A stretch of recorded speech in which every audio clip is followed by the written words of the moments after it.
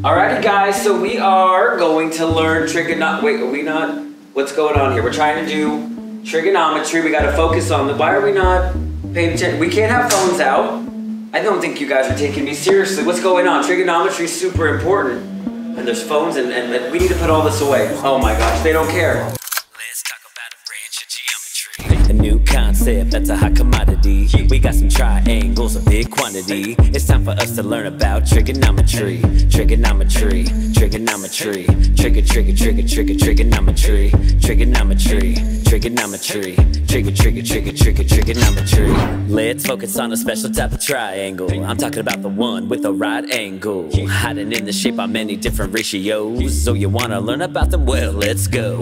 In this shape, we're gonna need a starting guide. So pick our reference angle in between some sides. Using that, we can name the size of the shape. But you can't use the right angle, that's a big mistake. The hypotenuse is the biggest side, I'll admit. The side across from our angle is the opposite. And the third side is the adjacent. Looking at an angle, it's the side next to it. Now, what if one of the sides are unknown? But we know the other two sides that's shown. Then we'll use what Pythagoras declared A squared plus B squared is C squared. Let's talk about a branch of geometry. A new concept that's a hot commodity. We got some triangles, a big quantity. It's time for us to learn about trigonometry. Trigonometry, trigonometry. Trigger, trigger, trigger, trigger, trigonometry. Trigonometry, trigonometry.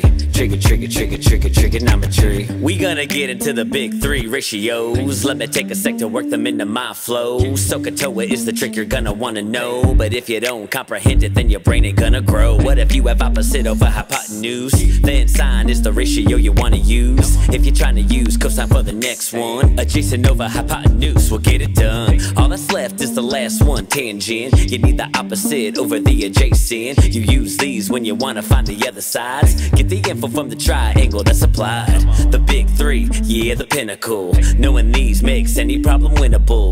I ain't got no time to get into reciprocals. I gotta keep this track back to a minimal. Let's talk about a branch of geometry. A new concept that's a hot commodity.